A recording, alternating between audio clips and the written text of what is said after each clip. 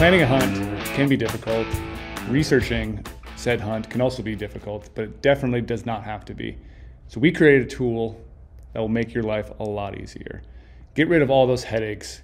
Get rid of all those notepads that you've had trying to compare different hunts, trying to make a, a, a solid plan for this coming year, the next year, and the future. So that tool that we created is called Hunt Planner. So Hunt Planner is available only to insiders. You can find it multiple different ways on the website. I'm just going to walk you through in a quick example right now to show you how I use Hunt Planner and how powerful it can be. Because like I said, it'll allow you to now save units or save seasons on the unit. So I could have a folder called 2023, you know, mule deer. Start saving those seasons. I can add notes to those seasons. I can compare them side by side, which is a feature I know a lot of you guys have been asking about for a long time. So this tool is very, very powerful. And like I said, it helps you plan. So if you're a new hunter trying to also get into this, um, you know, Western hunting can be very confusing. A new hunter is going to benefit greatly by using Hunt Planner because again, you can just start developing that plan for this year and you have your elk plan, you have your mule deer plan, an experienced hunter again, no more headaches of having to have multiple things open at the same time, multiple documents, notepads, scratch paper, Google Doc, wherever it may be, Hunt Planner eliminates so the exact way I like to use Hunt Planner is by using Filtering 2.0 because I can save those seasons that I get excited about when I'm doing my research. So we're planning a hunt right now. It's application season. Jump over Filtering 2.0. I'm looking to find a mule deer hunt right now.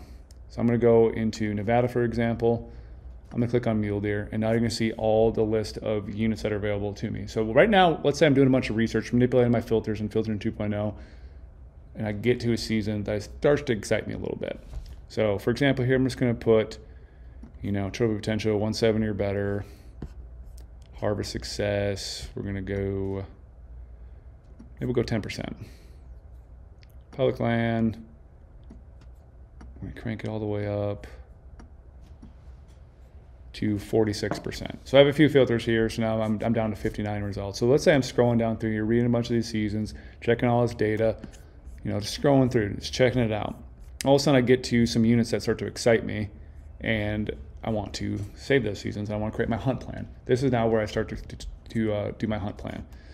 So for example, I found this unit right here in the middle, unit 051. I'm looking at an archery hunt. I look at the, the trophy potential, buck doe ratio, uh, percent four point or better, public land percentage. This is units excites me.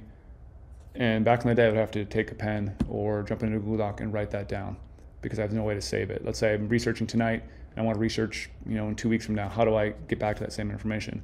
Well, now you see here on Filtering 2.0, there's a little save feature under every single season. I'm going to click save. Now it's going to pop up on this little screen in the middle, save season to a hunt. So now I want to create my first folder in Hunt Planner. So I'm going to create a new hunt. I'm going to name this 2023 Nevada, if I can spell right, mule deer. And there it is. Okay. So now you'll see I have that folder saved, 2023 Nevada Mule Deer. I'm gonna click on it, and I'm gonna click done. And now you'll see on the right side here, that saved is now outlined in black. So I've saved that season. Let's say I also have another unit I'm really enjoying in here. I'm just gonna scroll, I'm picking random units out. We'll pick 068 because that's right next door to that unit. And again, the archery season. I like that unit, I'm gonna click save. And now again, you'll see 2023 Nevada Mule Deer as one of my hunt folders in Hunt Planner. Tap it, click done. Again, that's saved. So now we're gonna jump into actual hunt planner and we'll show you the real power of it. So I'm gonna go over here to tools, go to hunt planner. Once you go to hunt planner now, now you see the screen looks a little bit differently. You'll see hunt planner at the top, and now I have a little folder right here that says 2023 Nevada Mule Deer. And there's a bunch of different views you can do in here. I can still create a new hunt plan in here if I want to, but I would have that one save. So let's say you have all these different states, all these different species. You can keep going with different folders for every species, every state, whatever you want to do, you can make this your own. That's the biggest thing about it. No headaches anymore, and it's all right here in Insider. And views, I can have it in the view like this, or I can do the column view. Depending what you're looking at, if you have a bunch of folders, it might be useful to change the view on it, but you can change views right here. You can sort it by last updated, alphabetical, created, whatever you need to do. I'm gonna jump into my hunt planner. So now you see screen looks a little bit different again. Shows when I created this hunt, hunt plan, shows the name, and it shows my two seasons. If I want to customize this a little bit, I can go over here, I can click edit, I can change the name. And what's kind of cool is you can actually change the photo at the top at the top of the of your hunt planner.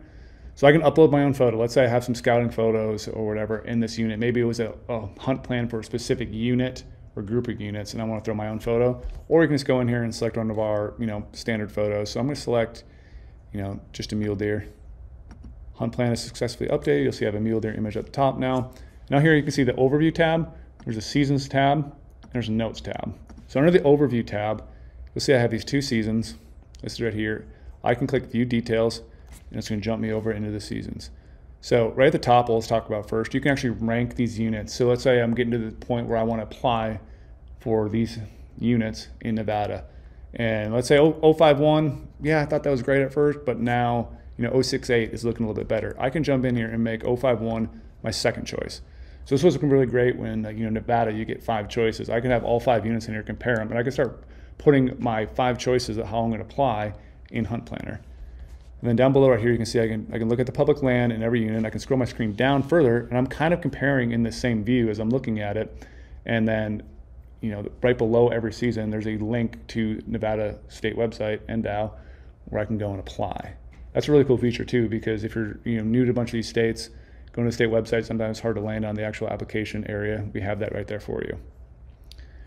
One thing that is very, very powerful that I want to point out as well let's say I have a bunch of different filters selected, you know, public lands a certain way, trophy potential, draw odds, points, harvest success. All those filters are, you know, adjusted.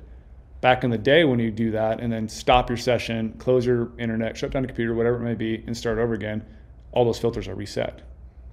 With this, once you save all these seasons to a hunt planner, there'll be a link right in the middle that says back to filtering results. If I click that, it's going to now take me back to filtering 2.0 with the exact filter settings. That's huge. So I just showed you that example. I'm going to jump back into the hunt planner and walk through the rest of the features. I've had a mule deer. We're the season level. Okay, I want to add a note. Let's say I started doing a bunch of planning, a bunch of research. I was reading our application strategy, and something was struck me as very interesting. Or maybe I was, you know, talking to a buddy who hunted there, called a biologist, wherever it may be. Start to, you know, pick up information on this unit. I want to add it to here. I don't want to have it on my scratch piece of paper, scratch piece of paper that I'll lose. I don't want to have it in the, you know, a document on the internet that I forget about or accidentally delete. It's all right here. I want to add a note on the season. Let's say this note is going to be, uh, I don't know, research to dive into further, whatever it may be. And I say like, oh yeah, uh, person X told me big bucks hang out near blank ridge. You get what I'm saying? You can just start adding notes. You can also add different hyperlinks. Let's say you want to, you know, add a hyperlink in here for an app strategy. I could just paste the link in there. Like this is your area to do whatever you want with a bunch of notes at every season level. I can save this note. Then you can see that is saved right here. It has a timestamp on it. I can edit that. I can delete it. I can also go down below, add another note to the other season. You see here, this is start to get very, very powerful over time when you start doing your research and start adding information to Hunt Planner. It makes things so much easier to keep track of everything that you've researched so far when trying to make a hunt plan. And then under each folder too, I can do a master note area and just do note under this folder. So it's not going to be attached to the season. It's going to be the master folder. I can do the same thing. Um, research data. This is my 2023 hunt plan researching blank units, blah, blah, blah. You can continue going with that save note, save it. So now into the season two, if I had a bunch of these here and I want to compare them a little bit easier because obviously right now I have two of them, so it's a little easier to see in the screen. But if I had a bunch of these u- or seasons saved on Hunt Planner, I want to compare them all. So I tap on compare. Now at the bottom of the screen, you'll see these units are starting to be selected on the bottom of the screen. I want to click on view comparison on the lower right corner it's going to jump me to a view then I can compare exact from one unit to the next. So these units are bordering each other. That's why I try to pick a unit that are bordering each other. Maybe the draws are going to be different between the two. Maybe they're going to be very similar, or maybe there's something striking that using this compare feature, you'll be like, wow, this unit's a little bit harder to draw, and this unit's very easy to draw, but has similar similar features that are you know called out on here. That's going to make that a better hunt for me. So I want to do that right now rather than sitting on the bench and not hunting.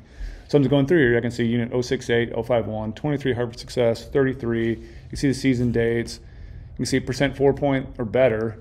you can see buck doe ratios. So now, like comparing and contrasting, so far, you know, this one unit starting to lean a little bit more heavy on the data side than the other. Public land's also leaning one way.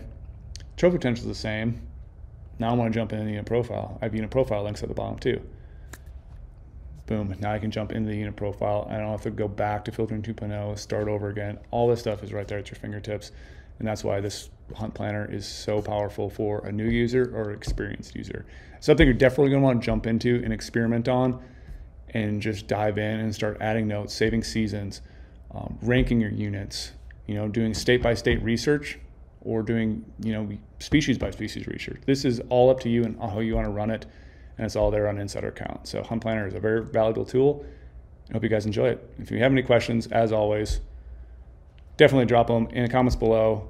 There's an article on the website as well as going to accompany this. So if you have questions how to use this tool or different tips and, ta- and tactics that you want to hear from us, I'd be glad to dive into it further. So Hunt Planner, very valuable. Like I said, there's so many different ways to use it. So best of luck this year.